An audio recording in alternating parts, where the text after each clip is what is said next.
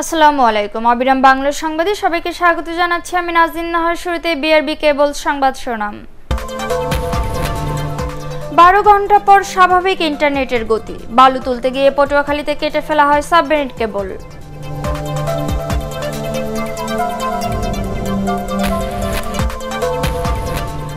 নিরাপত্তার স্বার্থে হাসপাতালে অভিযান বদ্ধের সিদ্ধান্ত নিয়েছে সরকার। অনিয়ম হলে আবার মাঠে নামবে টাস্ক ফোর্স বললেন স্বাস্থ্য সচিব।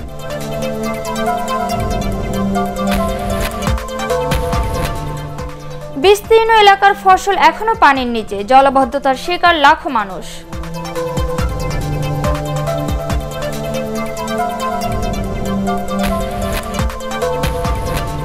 এবং সুর সম্রাট আলাউদ্দিন আলীর জানাজা ও দাফন আজ।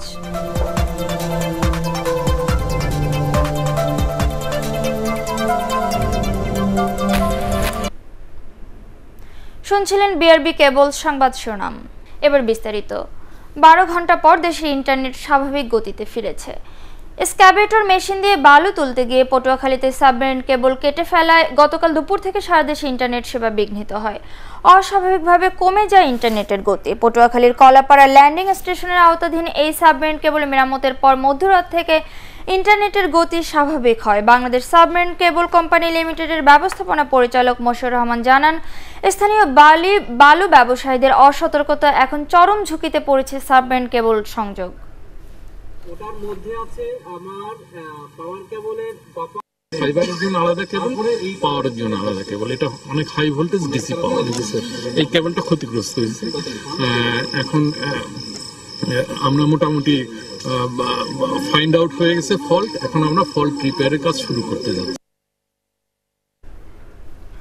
হাসপাতালের নিরাপত্তার স্বার্থে অভিযান বদ্ধের সিদ্ধান্ত নিয়েছে সরকার, তবে অনিয়ম পেলে টাস্ক ফোর্সের সাথে সমন্বয় করে অভিযান চালানো হবে বলে জানিয়েছেন স্বাস্থ্য সচিব।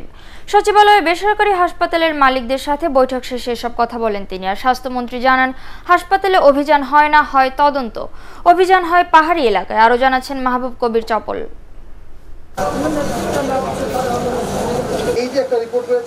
যে ধরনের অভিযানে রিজেন্ট হাসপাতালের জালিয়াতির ঘটনা বেরিয়ে আসে, ধরা পড়ে শাহাবুদ্দিন মেডিকেলের অনিয়ম, সে ধরনের অভিযানই বন্ধের নির্দেশ দেয় স্বাস্থ্য মন্ত্রণালয়। এতে শুরু হয় সমালোচনা। রোববার বেসরকারি হাসপাতাল মালিকদের সাথে বৈঠক করে স্বাস্থ্য মন্ত্রণালয়। অভিযান অব্যাহত থাকলে হাসপাতাল বন্ধ করার হুমকি দেন মালিকরা। বৈঠক শেষে স্বাস্থ্য সচিব বলেন, আইন শৃঙ্খলা বাহিনী নয়, প্রয়োজন হলে অভিযান চালাবে মন্ত্রণালয়ের টাস্ক ফোর্স আমরা আমাদের অভিযান একদিনের জন্য কিন্তু বন্ধ রাখব না, এক মিনিটের জন্য বন্ধ থাকবে না। আমরা যেখানেই কোনো অভিযোগের গন্ধ পাবো, যেখানেই অভিযোগের কোনো একটি তথ্য পাবো আমরা সাথে সাথে হ্রাস করব। আমাদের টাস্ক ফোর্স আমরা করে দিয়েছি। অবশ্য স্বাস্থ্যমন্ত্রী বলেন হাসপাতালে অভিযান চালানোর কোনো সুযোগ নেই। অভিযান বন্ধ হয়েছে এই কথাটা সঠিক না। আর এটা অভিযান কেন? হাসপাতাল কি হাসপাতালে তো কেউ অভিযান করে না। হাসপাতালে ইনকোয়ারি করে। অভিযান তো করে হলো চিটাং হিল ট্র্যাক্সে যেখানে সন্ত্রাসীরা আছে। সেখানে অভিযান হয়। করোনা পরিস্থিতি এবং এর পরীক্ষা কমে যাবার কারণও ব্যাখ্যা করেন স্বাস্থ্যমন্ত্রী। টেস্টের সংখ্যা কিছুটা কমেছে এটা সঠিক। সেটা কিছুটা হলো বন্যার কারণেও হয়েছে। আবার কিছুটা মানুষের অনীহাও আছে।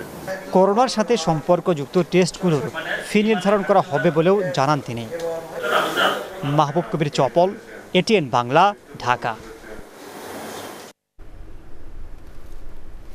করোনা আক্রান্ত হয়ে আরও চৌত্রিশ জন মারা গেছেন। এ নিয়ে মোট মৃতের সংখ্যা দাঁড়াল তিন হাজার তিনশো নিরানব্বই। চব্বিশ ঘন্টায় এক হাজার সাতশো ছেষট্টি জন সহ মোট সুস্থ হয়েছেন প্রায় দেড় লাখ। স্বাস্থ্য অধিদপ্তরের নিয়মিত অনলাইন বুলেটিনে অতিরিক্ত মহাপরিচালক নাসিমা সুলতানা জানান, গত চব্বিশ ঘন্টায় মৃতদের মধ্যে ষাট বছরের বেশি বয়সে এগারো জন রয়েছেন।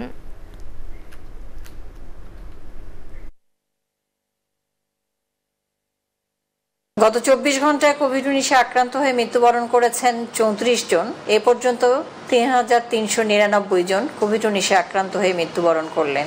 শনাক্ত বিবেচনায় মৃত্যুর হার এক দশমিক তিন দুই শতাংশ। করোনায় আক্রান্ত হয়ে বরিশালে দুই বৃদ্ধার মৃত্যু হয়েছে। সারা বিভাগের ছয় জেলায় ডাক্তার, নার্স ও পুলিশ সহ নতুন আক্রান্ত বিরাশি জন। যশোরে জেলা আওয়ামী লীগের সহ সভাপতি গোলাম মোস্তফা সহ ছাপ্পান্ন জন করোনা পজিটিভ শনাক্ত হয়েছে। এদিকে ব্রাহ্মণবাড়িয়ায় দুই হাজার ছাড়িয়েছে করোনা আক্রান্তের সংখ্যা। চব্বিশ ঘণ্টা আক্রান্ত হয়েছে আরও সাতাশ জন। দেশের বন্যা কবলিত এলাকাগুলো থেকে পানি কমলেও এখন নিম্নাঞ্চলে জলাবদ্ধতার ভাঙনের আতঙ্কে দিন কাটছে দুর্গতদের। শেরপুরে গ্রামীণ রাস্তাঘাটের বেহাল দশা। শেরপুর জামালপুর আঞ্চলিক মহাসড়কের পোড়া দোকান ও শিমুলতলি ডাইভারসনের রাস্তা ভেঙে গেছে। সৃষ্টি হয়েছে বড় বড় গর্তের। ডাইভারসনের পাশ দিয়ে উঁচু করে বিকল্প রাস্তা বেইলি সেতু করা হলেও তা বন্যার পানির প্রবল স্রোতে বেহাল হয়ে পড়ায় গত পঁচিশ দিন ধরে শেরপুর থেকে জামালপুর হয়ে উত্তরাঞ্চলের সঙ্গে সরাসরি সড়ক যোগাযোগ বন্ধ রয়েছে।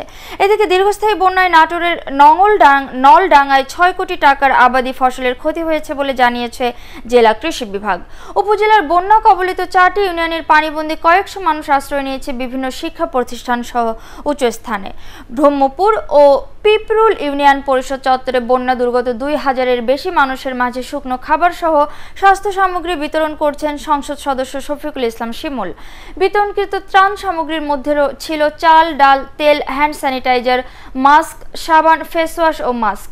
সিরাজগঞ্জে যমুনা সহ বিভিন্ন নদ নদীতেও পানি কমতে থাকায় বন্যা পরিস্থিতির উন্নতি হলেও এখন নিম্নাঞ্চলে আবদি জমি পানির তলে। শুরু হয়েছে দু হাজার বিশ একুশ শিক্ষাবর্ষে কলেজে ভর্তির অনলাইন কার্যক্রম। একাদশ শ্রেণির এই ভর্তি পদ্ধতি নিয়ে এবার শিক্ষার্থী অভিভাবকদের মধ্যে আনন্দের পাশাপাশি রয়েছে উদ্বেগ, উৎকণ্ঠা। এসএসসিতে এবার এক লাখ পঁয়ত্রিশ হাজার আটশো আটানব্বই জন শিক্ষার্থী জিপিএ পাঁচ পেয়েছে। কিন্তু সারা দেশে ভালো মানের কলেজে আসন রয়েছে পঞ্চাশ থেকে ষাট হাজার। তাই ভালো ফল পেলেও সেরা কলেজে ভর্তি হওয়া নিয়ে অনেকের মধ্যে দেখা দিয়েছে অনিশ্চয়তা। রিপোর্ট আদ্দিন সজীবের। নিশা ও দিশা দুই বোন। কলেজ ভর্তি নিয়ে ব্যস্ত এখন। এবারের এসএসসিতে ভালো ফল করেও মন ভার করোনা ভাইরাসের জন্য। এই মহামারী এবার তাদের পড়ালেখাও অনেকটা পিছিয়ে দিয়েছে।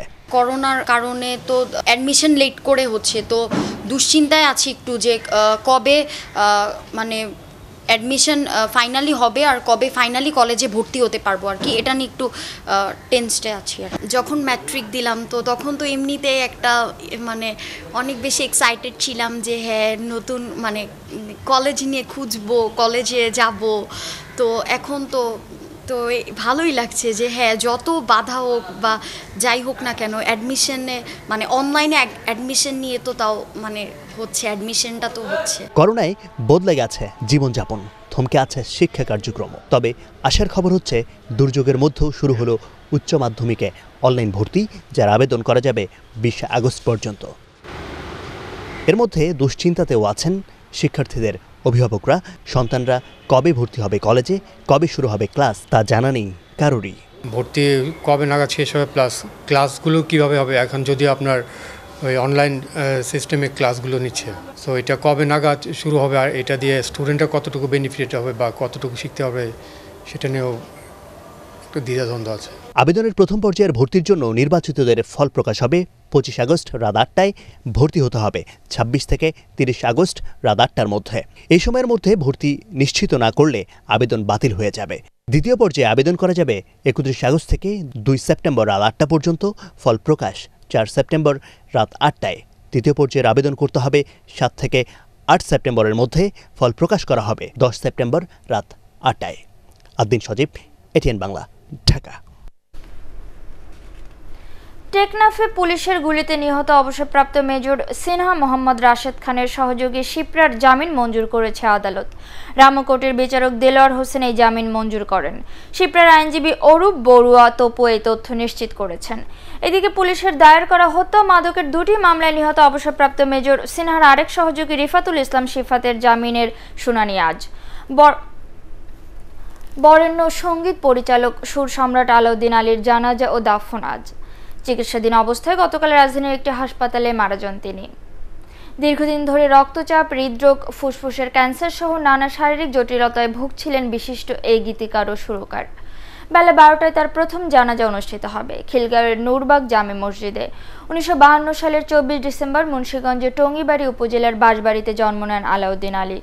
গোলাপে এখন ট্রেনে সুন্দরী কষায় যোগাযোগ সহ অসংখ্য কালজয়ী চলচ্চিত্রের সংগীত পরিচালনা করেছেন তিনি।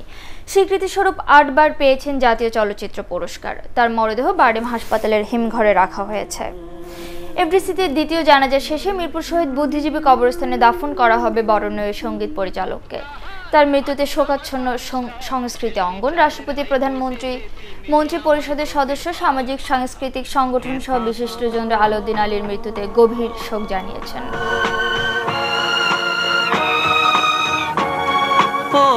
আমার নন্দিনী।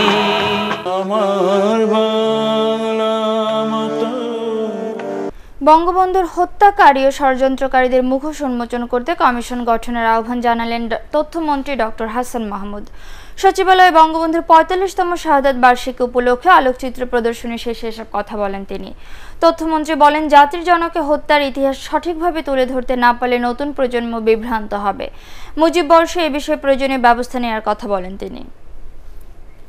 সেই সাথে ওনাকে যারা বেগম নাহার জন্য যারা বঙ্গবন্ধুর হত্যাকাণ্ডের সাথে যুক্ত ছিল, ষড়যন্ত্রকারী ছিল, তাদের মুখোশ জনগণের সামনে উন্মোচিত হওয়া প্রয়োজন।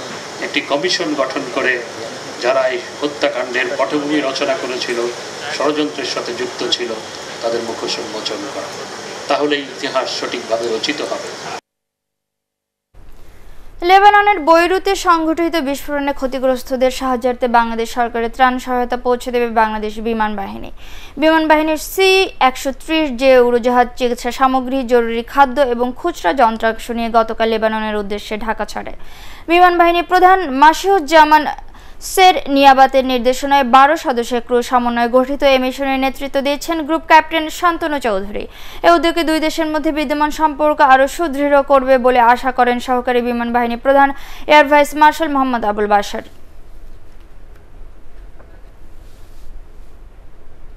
এবারে আন্তর্জাতিক সংবাদ।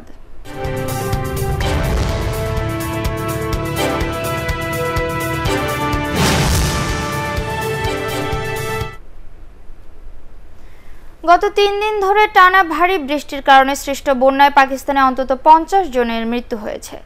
দেশটির জাতীয় দুর্যোগ ব্যবস্থাপনা কর্তৃপক্ষের বরাদ দিয়ে তথ্য জানিয়েছে আল জাজিরা। বৃষ্টি ও বন্যার কারণে গত তিন দিনে উত্তর পশ্চিমাঞ্চলের খাইবার পাখতুন খাওয়া প্রদেশে উনিশ জন মারা গেছেন। বারো জনের প্রাণহানি হয়েছে দক্ষিণের সিন্ধু প্রদেশে। এছাড়া পাঞ্জাবে আটজন ও পাকিস্তান নিয়ন্ত্রিত কাশ্মীর অঞ্চলে গিলগিত বালু বালতিস্তানে আরও জন প্রাণ হারিয়েছেন।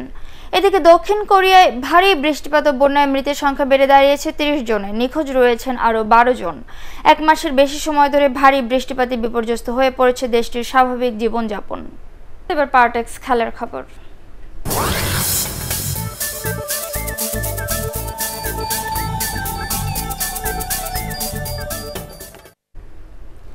পাকিস্তানের বিপক্ষে টেস্ট সিরিজের বাকি দুই ম্যাচ থেকে নাম প্রত্যাহার করে নিয়েছেন ইংল্যান্ডের বেন স্টোকস।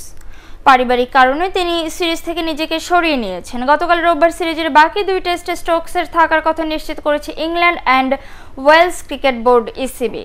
নিউজিল্যান্ডে থাকা বাবা মায়ের সঙ্গে সময় কাটাতে সিদ্ধান্ত স্টোকসের। গত মাসে ওয়েস্ট ইন্ডিজের বিপক্ষে ব্যাটে বলে দুর্দান্ত পারফর্ম করেন স্টোকস। তবে সিরিজের বাকি অংশে তাকে না পাওয়া ইংল্যান্ডের জন্য হবে বড় ধাক্কা। আগামী তেরো আগস্ট শুরু হবে পাকিস্তান ইংল্যান্ডের দ্বিতীয় টেস্ট, তৃতীয় শেষ ম্যাচটি হবে একুশ আগস্ট। স্বাস্থ্যবিধি মেনে সীমিত পরিসরে খেলোয়াড়দের ফিজিক্যাল ফিটনেস প্রশিক্ষণ কার্যক্রম শুরু করেছে বাংলাদেশ হকি ফেডারেশন। করোনা টেস্টের পর দুপুরে শাহিন হলে সিলেকশন কমিটির নিকট রিপোর্ট করেন খেলোয়াড়রা। আগামী সাত দিন আইসোলেশনে থাকার পর বাংলাদেশ বিমান বাহিনীর অধীনে ফিটনেস ক্যাম্প শুরু করবে যুব হকি দলের খেলোয়াড়রা। বঙ্গবন্ধু এশিয়ান জুনিয়র হকি প্রতিযোগিতার সামনে রেখে এই ক্যাম্পের আয়োজন করা হয়েছে বলে জানান হকি ফেডারেশনের সভাপতি ও বিমান বাহিনী প্রধান মাসুজ্জামান শেরনিয়াবাদ। প্রাথমিকভাবে বাংলাদেশ বিমান বাহিনী ঘাঁটি বঙ্গবন্ধুতে এক মাসের জন্য এই ক্যাম্পের আয়োজন করা হয়েছে। আমি সেই জন্য আমাদের ঘাঁটি অধিনায়ককে ধন্যবাদ জানাচ্ছি। যেখানে সার্ভিসেস দলের বাইরে বিকেএসপির খেলোয়াড় সহ মোট একুশ জন এই ফিটনেস ক্যাম্পে অংশগ্রহণ করবে বলে আশা রাখি। এই ক্যাম্প সফল হলে প্রয়োজন মোতাবেক এর ধারা অব্যাহত রাখবে বলে আমার বিশ্বাস। এবং আমার আরও বিশ্বাস যে আমরা শেষের দিকে স্টেডিয়ামে গিয়েও খেলতে পারব কিছু। এবং সেটা দরকার আছে। শেষ করার আগে বিআরবি কেবল সংবাদ শিরোনাম আরেকবার। বারো ঘণ্টা পর স্বাভাবিক ইন্টারনেটের গতি। বালু তুলতে গিয়ে পটুয়াখালীতে কেটে ফেলা হয় সাবমেরিন কেবল।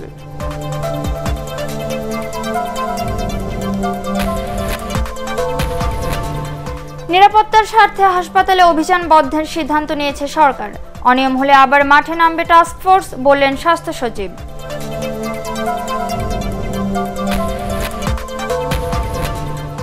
বিস্তীর্ণ এলাকার ফসল এখনও পানির নিচে, জলবদ্ধতার শিকার লাখো মানুষ।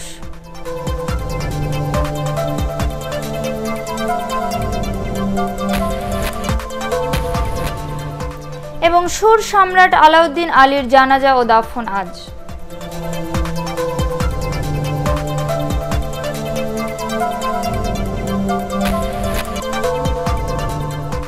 দর্শক, এই ছিল এখনকার মতো সংবাদ। পরবর্তী সংবাদ দেখার আমন্ত্রণ জানিয়ে শেষ করছি। সবাই ঘরে থাকুন, নিরাপদে থাকুন। এটিএন বাংলা সংবাদ ইউটিউবে দেখতে ব্রাউজ করুন ইউটিউব স্ল্যাশ এটিএন বাংলা